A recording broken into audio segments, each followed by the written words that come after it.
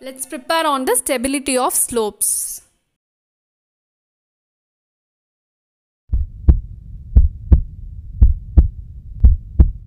So stability of slopes. So here the slopes are categorized into infinite slope and finite slopes. Okay. So the infinite slope is a slope of a semi-infinite soil mass uh, where the soil properties for all the identical depths below the soil surface will be constant only.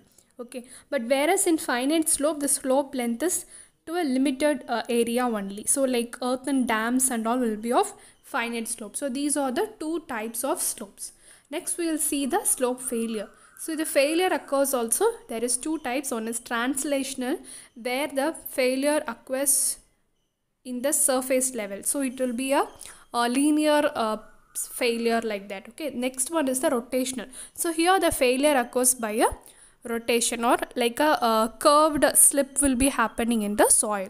Normally this translational will occur in the infinite soil, infinite slope and this rotational will occur in the finite slope. Okay. And then here comes the factor of safety. So the factor of safety now we are going to see is for infinite slope. Okay. So normally the factor of safety is given as uh, against the translational failure that is only infinite slope we have seen no so there they given us shear strength by shear stress. So shear strength we can denote it as s and shear stress by tau. So it is s by tau. And it can also be written as tan phi by tan i also. So these are the two formulas which is used for finding the factor of safety against the translational failure in the infinite slope So this tan phi by tan I know this is specially for the cohesion less soil. And then another uh, FO, F factor of safety is also given that is uh, gamma dash tan phi dash by gamma saturation tan I. This is for the specially for the soils where the seepage is parallel to the slope. And then the general formula that is for C phi soil. So for all types of soil uh, C plus gamma is Z cos square I by tan cos square I tan phi by gamma is Z cos I sine i. So this i and phi we everybody knows i is the angle of infinite slope and phi is the angle of internal friction of the soil okay. So this is the i and uh, phi here and uh, gamma is the density and c is the cohesion here okay. So in this formula if you substitute c is equal to 0 c is equal to 0 will be coming for the cohesion less soil because in cohesionless soil cohesion will be 0 so if you substitute c is equal to 0 here then gamma z by gamma z will get cancelled. Then cos square i by cos i will get cancelled. So cos i by sin i will be there. So it will be tan i. So this two can be written as tan i here. That is tan phi by tan i. So this is the formula given here. They have derived this from this formula only okay? So for cohesion less soil you can directly write it as tan phi by tan i. And then the next is the types of failure we are going to see. So if you take this is the soil structure and this is the slope they provided here okay? So here the first type is the face failure whereas the failure occurs in this direction. That is before the uh, ground level. So if you take this is the ground level and this is the height of the bund and the depth below is nothing but it is the depth of the soft stratum. And here is your hard stratum. Okay so this is all about the h and d given here. So if the failure occurs above the ground level means it is face failure. If it occurs at the ground level means it is toe failure. And below the ground level means it is the base failure so here if you take this means they have written as df that is the depth factor. Okay so depth factor is denoted as h plus d by h. Okay so h plus uh, d is nothing but it is the depth of the hard stratum below the top by height of the slope. Okay so here if you take h plus d means if you take a that is face failure no. So if you take h plus d means uh, d is not there and h is actually less than the given h here okay? So it is actually less than the given h by the total h. So if you take like that the answer will be lesser only. So it is less than 1 so if you see for base failure sorry face failure it is less than 1 So if it is equal to 1, that is for B if you see means it's only H. So D is equal to 0. So H by H will be 1. So DF is equal to 1 for toe failure and DF is equal to greater than 1 for base failure. So from this you can find the depth factors. And then comes the uh, factor of safety here also. So here they have given us resisting moment by driving moment that is occurring in the soil. The next comes the methods to analyze the finite slope. In the previous two uh, formulas, we have dealt that for infinite slope and now we are going to do for the finite slope.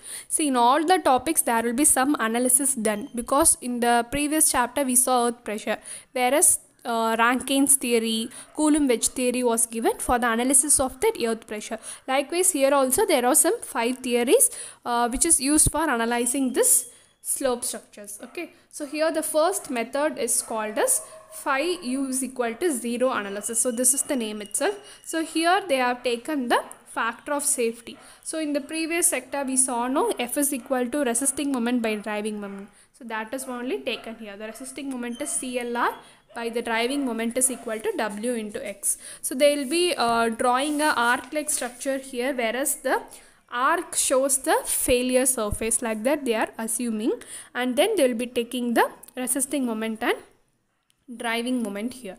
So here c is nothing but your uh, undrained cohesion that is only mentioned as cu and then l is the length of the arc and then r is the radius of the slip circle. So this is your slip circle.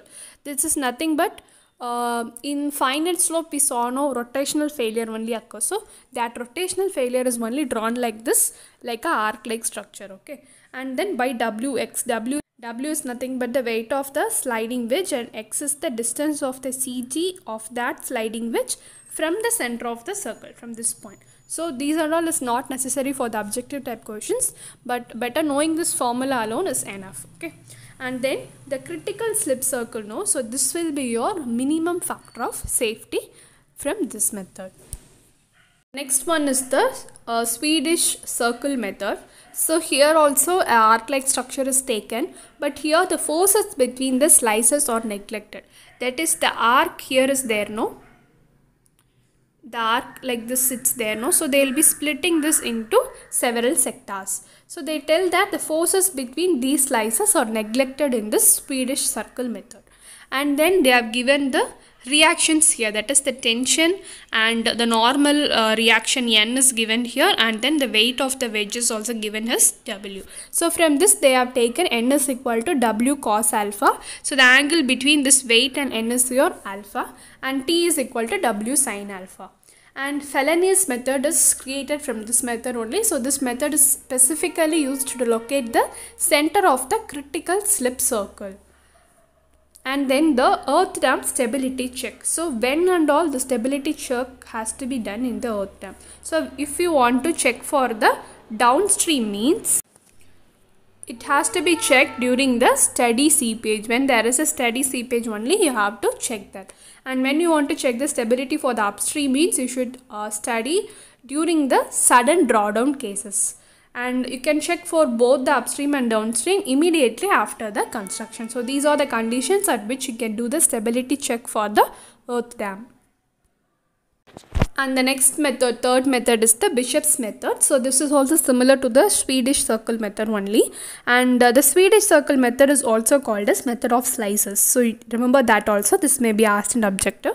So this is also uh, taken as slices only. But we call the Swedish circle method only as method of slices.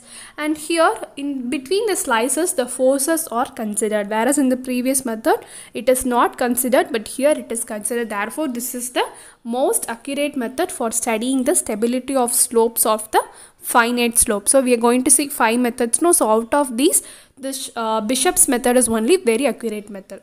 And then FC. So this is the factor of safety again for uh, uh, finding the stability of slopes. So here FC is given as C by CM. So why it is written as FC means it is uh, given with respect to the cohesion Okay, so they have given C by Cm. So C is nothing but it is cohesion and Cm is nothing but mobilized cohesion. Okay, and which is also equal to Hc by h.